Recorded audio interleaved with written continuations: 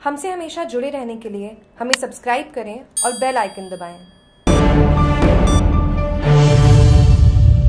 सरहदी बाड़मेर में नामी कंपनियों के नाम पर लोकल माल सप्लाई करने वाले जालसाजों के खिलाफ पुलिस ने बड़ी कार्रवाई को अंजाम दिया है बाड़मेर पुलिस अधीक्षक दीपक भार्गव के निर्देशन में बाड़मेर शहर कोतवाल उगमराज सोनी ने इस बड़ी कार्रवाई को अंजाम दिया है। बाड़मेर में लोकल कंपनियों के इलेक्ट्रॉनिक आइटम पर नामी कंपनियों के स्टिकर लगाकर सामान को ऊँची कीमतों पर बेच रहा था। बाड़मेर कोतवाली पुलिस ने बड़ी संख्या में इलेक्ट्रॉनिक उपकरण न केवल जब्त किए, बल्कि बड़ी जालसाजी से पर्दाफाश किया है।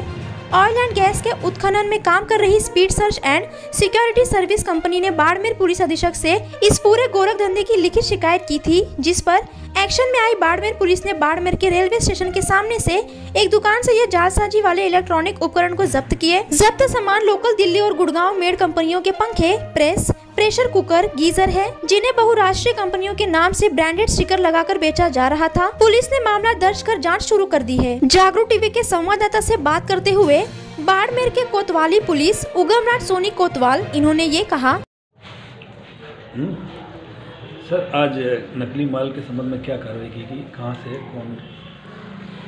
ये चंद्रशेखर केवल चंद ब्राह्मण निवासी सेक्टर चौवालीस चंडीगढ़। हाल field manager, speed network, sector चौंतीस, चंडीगढ़। इसने आकर श्रीमान एस साहब को एक इतला दी कि भी हमारे कॉपीराइट के अंतर्गत जो दे रखे हैं कंपनियाँ, उनका माल यहाँ पे राजेश कुमार करके एक व्यक्ति है जो नकली बना के हमारे स्टिकर लगा के माल बेच रहा है। उसने यहाँ सर्वे भी किया, जिस पर श्रीमान एस साहब ने डीएसटी टीम और हमारे सब इंस्पेक्टर मीठा राम को मौके पे भेज के कार्रवाई करवाई तो माल जब्त किया। जिसमें कॉपीराइट के तहत मुकदमा दर्ज किया। इस पर कोई गिरफ्तारी वगैरह हुई है? हाँ एक व्यक्ति को हमने अ, दस्तियाब करके कार्रवाई कर रहे हैं। जागरूक टीवी के बाड़मेर से ठाकरा मेघवाल की रिपोर्ट।